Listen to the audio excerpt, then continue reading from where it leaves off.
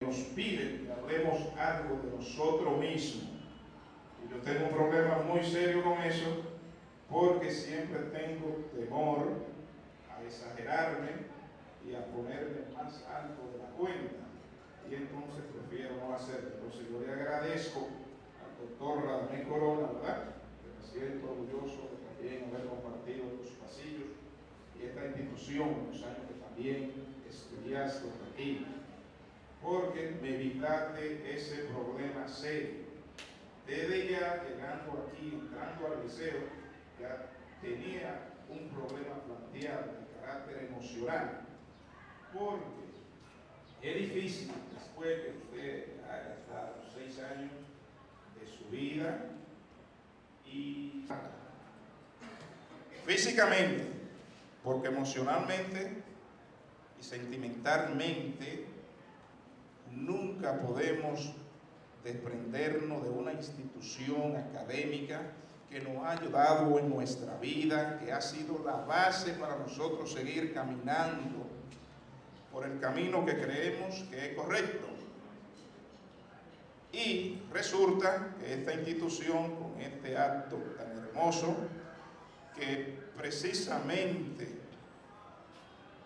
no creo que merezca tanto, pero ustedes lo han organizado con tanto cariño y amor, porque de otra manera no hubiese quedado tan perfecto como ustedes lo han hecho.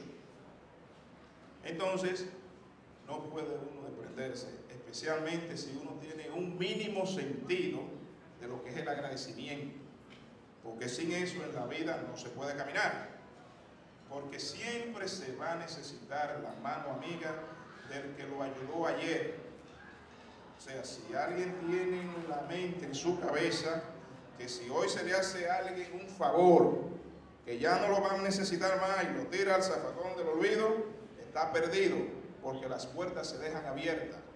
Siempre, cuando uno menos lo espera, tiene que volver a aquella mano amiga que le dio una ayuda. Y en este caso, todo eso yo lo simbolizo en esta institución. Y por eso alguien me preguntó, yo conservo mi carnet de la reforma, lo tengo aquí. Alguien me preguntó, ¿verdad? ¿Verdad? Lo cual este, yo agradezco mucho porque recuerdo esa rectitud y esa exigencia de la profesora porque eso es parte de su personalidad y de lo que el Todopoderoso le ha dado a usted. ¿Verdad? Recuerdo que en aquella época, no sé ahora, cambiábamos de curso, ¿verdad? Hacíamos un recorrido dependiendo la clase. Entonces, una de las preocupaciones de muchos estudiantes de los cursos, incluyéndome a mí, era, no quiero que llegue queja a mi profesor jefe, porque también había, existía el club club de estudiantes, con un estudiante eh, presidente del club y otras directivas que se encargaban de pasar la información de cómo lo hacíamos los diferentes cursos a la profesora jefe, de la cual también nos sentíamos muy orgullosos por su tenacidad, su carácter, su rigidez para que hiciéramos las cosas bien y sobre todo por su hermosura física también. O sea, porque eso es una cosa de los estudiantes también. No dejamos de observar. ¿eh? Y entonces, hermosa y soltera, era algo para los estudiantes sentirse.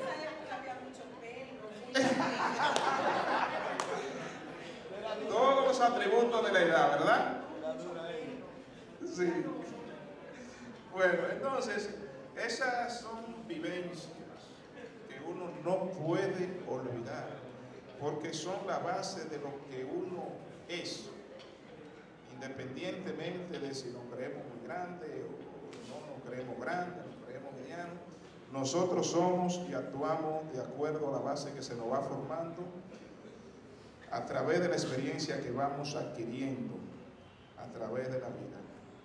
Entonces, yo pienso que ha valido la pena lo que nosotros hemos ido haciendo en el camino, porque por ejemplo, eh, organizarse eh, personas como el director de esta institución, el señor Moisés Rodríguez, el honorable concejal Domingo Ureña, que para mí es una grata sorpresa saber que él es presidente de la Sociedad de Padres y Amigos de esta institución precisamente, ¿verdad?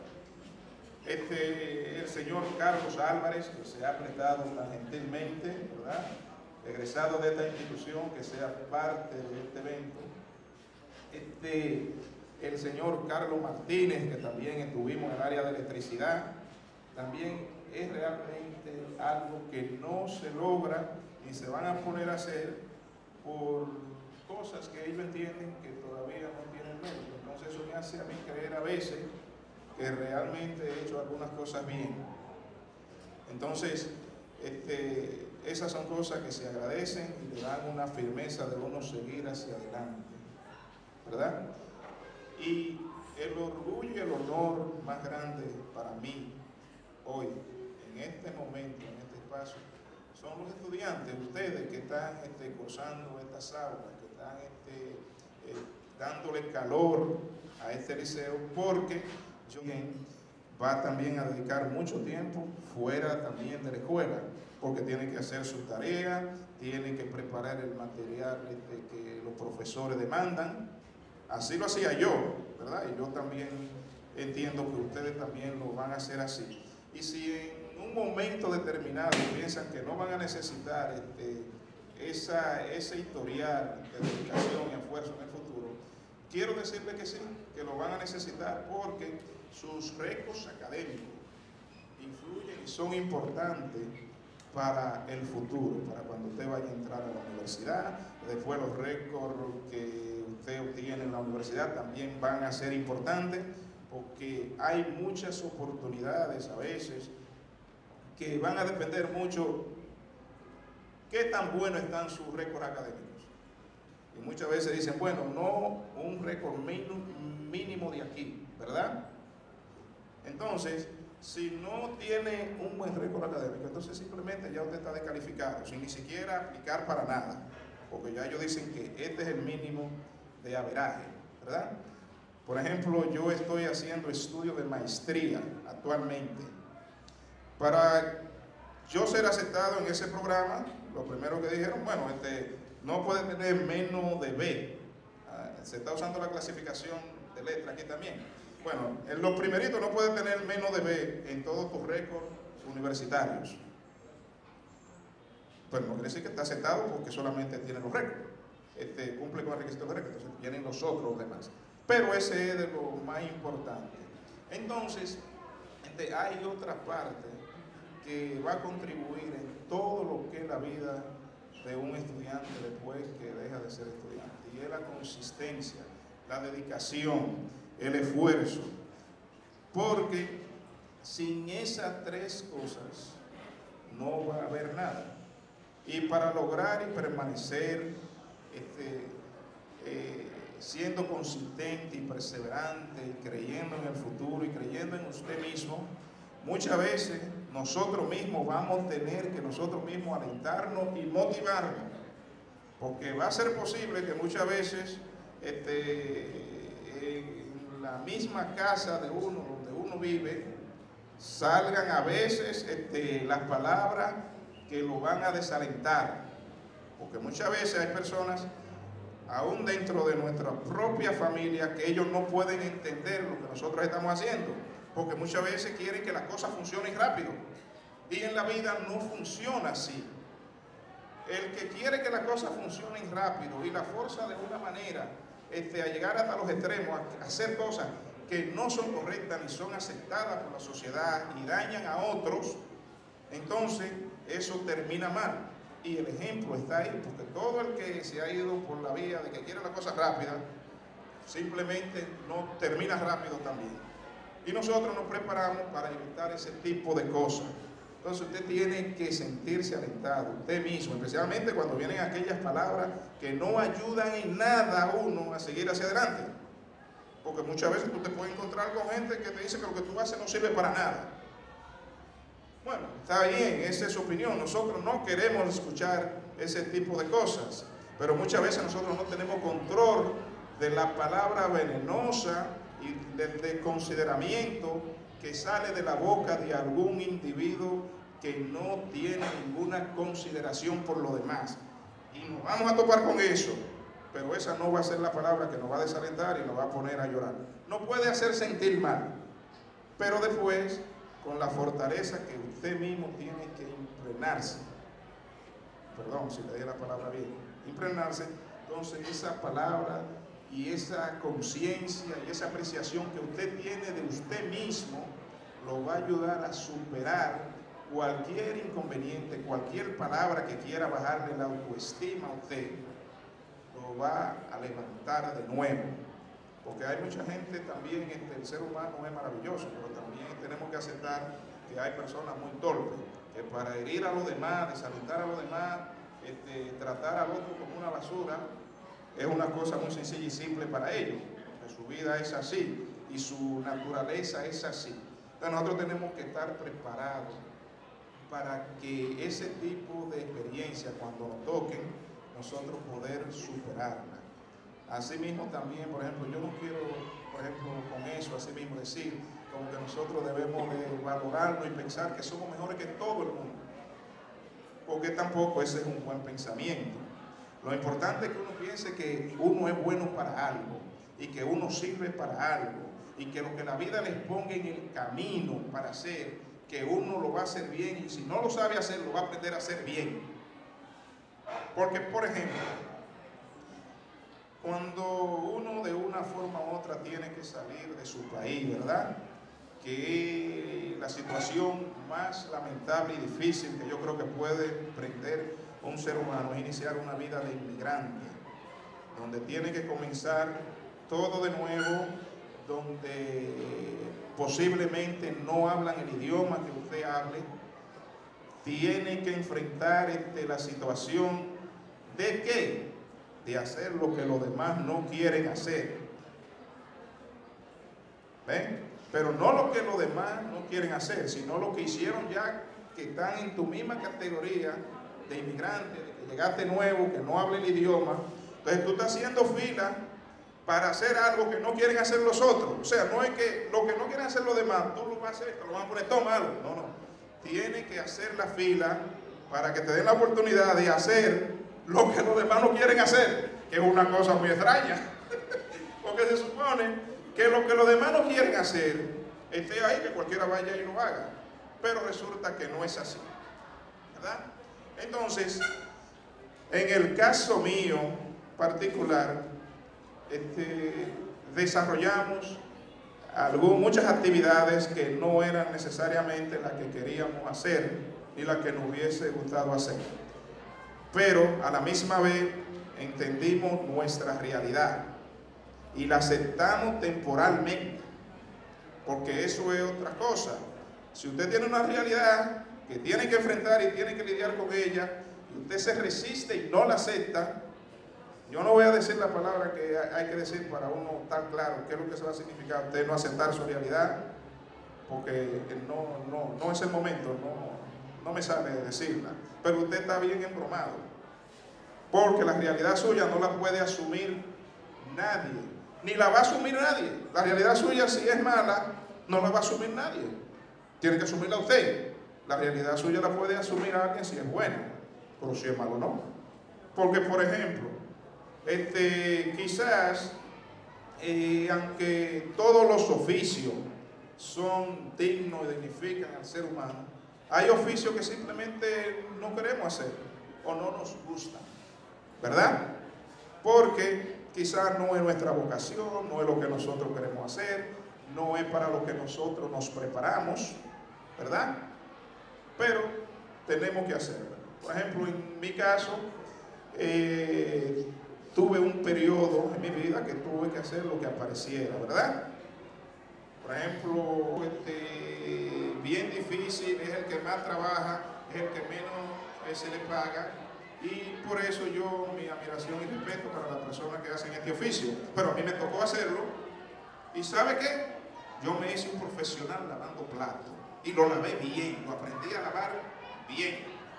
porque no tiene ningún sentido que a usted le toque hacer algo que a usted no le gusta y no lo aprenda a hacer bien, porque entonces se va a hacer más difícil que usted salga de ahí. Porque muchas veces las personas y los superiores, los dueños de negocios y empresas, no solamente se fijan en ti, en el oficio que no creo tampoco que no he logrado nada, ¿verdad? Pero menciono la palabra el éxito porque es importante que nosotros estemos claros, especialmente cuando estamos este, en esta etapa que están este, los estudiantes, ustedes de aquí de la reforma. El éxito no está reservado para nadie. El éxito eso no está reservado para el que tiene cuarto, para el que tiene, para el que no es rico, para el que es pobre, eso no está reservado para nadie. Y si es fácil comprobar eso. La gente exitosa en las diferentes áreas, ya sea en las artes, este, en las demás este, áreas del mundo académico, cuando ustedes chequean sus orígenes, algunos pueden venir este, de clase muy elevada, pero ¿sabe qué? Otros van a venir, van a encontrar que vinieron de clase muy humilde. Entonces, ¿qué es lo que le dice eso? Que eso no está reservado para nada. El hecho de que usted nazca con la gracia de ser hijo de millonario, la naturaleza no le importa eso. Usted puede ser de millonario y la naturaleza puede tirarlo un torpe bueno para nada. O sea, este, hay un actor, no sé si falleció, Marlon Brando, un actor muy exitoso, este, taquillero, que produjo millones y millones de dólares en la industria del cine norteamericano y a nivel del mundo. Y los hijos, ¿qué eran los hijos? Exacto, el hijo, un drogadito, que terminó después preso, eh, qué sé yo cuántos años, porque eh, mató el novio de la hermana, este, la hermana después se ahorcó. Y estamos hablando de un individuo con un talento excepcional, Sánchez Libertad y de los Salados, que creo que le cambian el nombre una vez, se llamaba Sánchez Manolo Tavares Justo, ¿verdad? Y yo vengo de ahí, eso para mí es un orgullo, así como su mi padre. Este, me siento bien viniendo de ahí, no tengo parámetros para estar este, en el ambiente que tenga que estar, en el grupo social que tenga que estar, no tengo parámetros para estar este, frente eh, al presidente de los Estados Unidos, al presidente de la República, no tengo parámetros para estar enfrente de nadie y nada me coge ni me frena, porque yo creo en mi persona, yo creo que yo soy un ser humano también, igual que los demás, y eso yo lo motivo a ustedes también, que piensen siempre que ustedes son seres humanos igual que los demás. Que tenga el otro, haya tenido más oportunidades, eso es otra cosa. Pero lo mismo que él hace y lo mismo que usted hizo para venir a este mundo y lo mismo que usted va a hacer para irse después, despedirse, tiene que hacerlo todo el mundo, ratas, reyes, ricos y todo el mundo. Y para ya dejarlo, ¿verdad?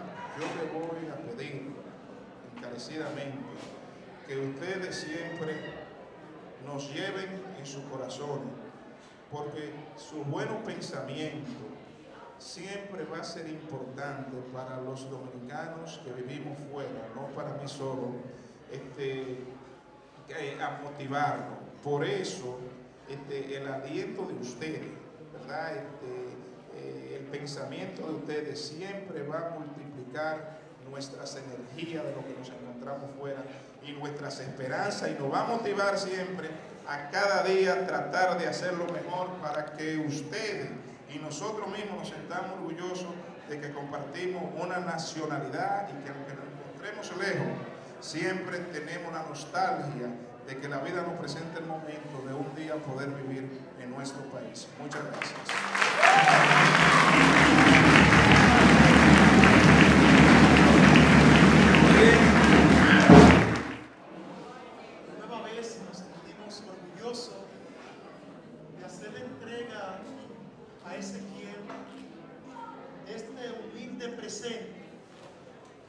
En el que se hace importante enfatizar, Corona, que no habíamos puesto de acuerdo para buscar dos palabras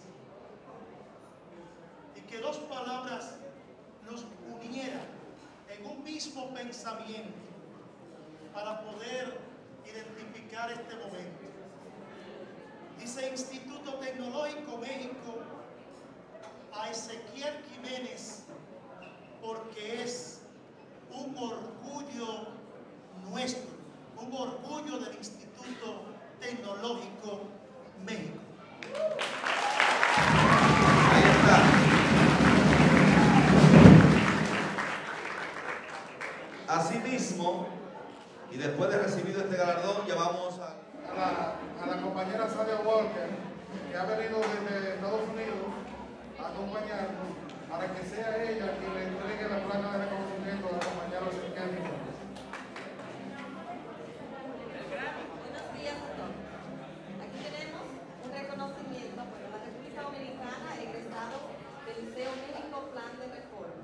Reconoce a Ezequiel Jiménez por los méritos alcanzados en playas extranjeras como un auténtico embajador de nuestra voluntad y de las artes plásticas, por su valiosa labor comunica- comunitaria a favor de los hispanos en Estados Unidos.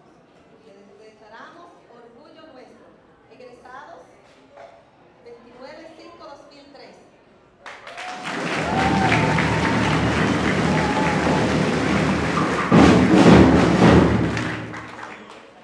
Muy bien. Y ahora no se podrían quedar, ahí está, ¿verdad? Los respectivos saludos de sus compañeros de aulas. No se podían quedar también los docentes y eligieron a la licenciada Rómula Rosario para hacerle presente en nombre también de los docentes de esta institución.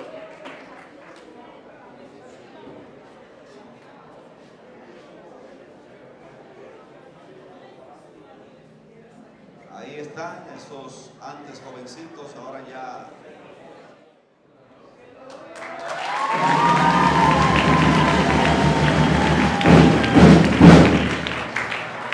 Bueno, señores, eh, eh, vamos a, a permitirle dar un minuto Ezequiel también para que le dé las gracias por estos galardones.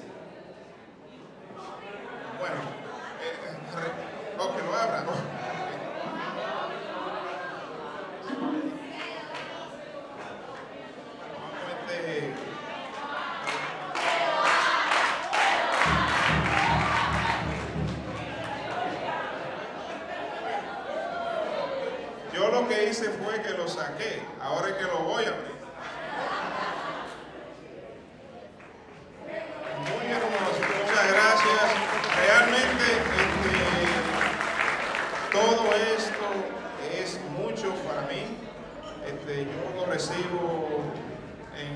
Embarazosamente y no tengo cómo pagarle lo que ustedes han hecho por mí.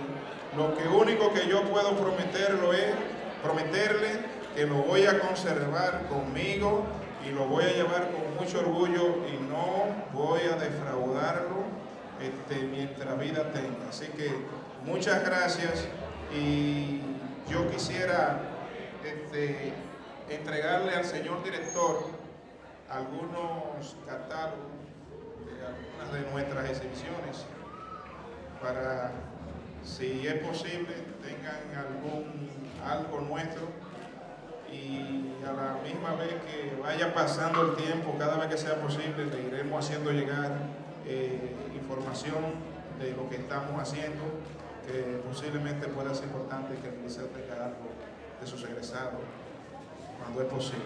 Así que muchas gracias una vez más.